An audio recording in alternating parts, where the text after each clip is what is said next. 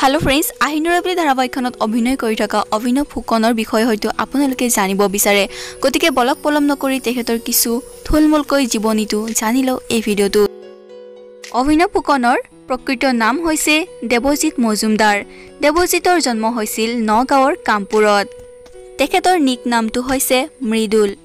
তেখেতৰ দেউতাকৰ নাম হৈছে স্বৰ্গীয় আশুতোষ কুমাৰ দাস আৰু মাকৰ নাম স্বৰ্গীয় সুমিলা দাস।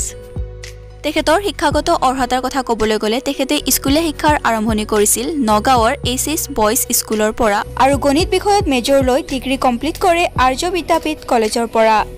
আপোনালোকক জনাওঁ যে দেৱজিৎ মজুমদাৰ অভিনেতা হোৱাৰ আগত এজন গীটাৰ বাদক হয়। তেখেতে ভালকৈ গীত গাবও জানে আৰু তেখেতে ভাল কবিতা আবৃত্তিও কৰে।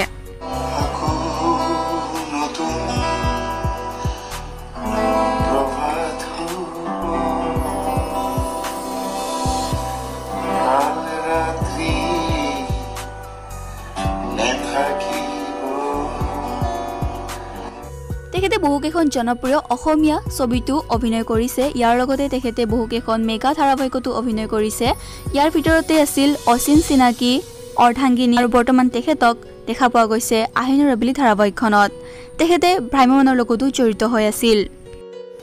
বন্ধু বান্ধৱীসকল আপোনালোকক জনাওঁ যে বৰ্তমান দেৱজিৎ মজুমদাৰ বেংক অৱ বৰোদাত কৰ্মৰত।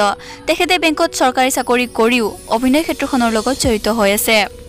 বন্ধু বান্ধৱীসকল দেৱজিৎ মজুমদাৰৰ বিষয়ে এইখিনিয়ে আছিল। যদি আপোনালোকৰ ভিডিঅ'টো চাই ভাল লাগিল তেনেহ'লে যিমান পাৰে শ্বেয়াৰ কৰিব।